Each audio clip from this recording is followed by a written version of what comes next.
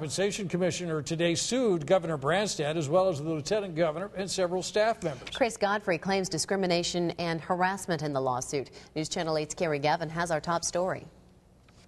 I did this to make Iowa a better place. I didn't do it to be discriminated against or to be treated differently. When Chris Godfrey was appointed as Iowa's Workers' Compensation Commissioner by Governor Culver in 2009, Godfrey was confirmed by the Senate to a six year term. But when Governor Branstad was elected in 2010, he asked Godfrey and several other state directors to resign.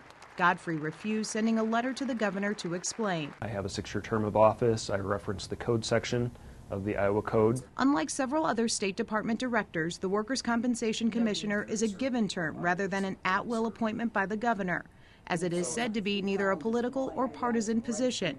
According to the lawsuit, Godfrey met with the governor's chief of staff and legal counsel in July 2011. I met with them and was told that I was given the opportunity to resign at my current salary, or if I did not immediately resign, my salary would be immediately cut. When he refused, they told him his pay was going to be immediately cut by nearly $35,000. Godfrey says the governor's staff gave no explanation for slashing his pay. I was never told that I was not meeting the expectations of my office. Despite the pressure to resign, Godfrey has continued his job as commissioner. It's hard to go into the office every day and be singled out, to be ostracized, to you know, have people that treat you poorly on a day in and day out basis.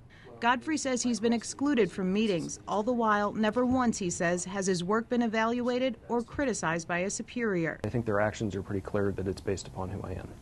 And do you feel that that is because you are gay? Of course. There's no other reason. Roxanne Conlin is his attorney. His decrease in salary, we believe, was the result of discrimination. Attorney George LaMarca is representing Governor Branstad and his staff. He says the governor wasn't aware that Godfrey was gay. The notion that the governor and six other persons got together and decided to discriminate against him based on his sexual orientation is frivolous on its face. It simply didn't happen. The claims Godfrey filed with the state appeal board allege breach of contract, extortion, and defamation of character. He is seeking compensatory and punitive damages. Now, the governor's attorney says he was well within law when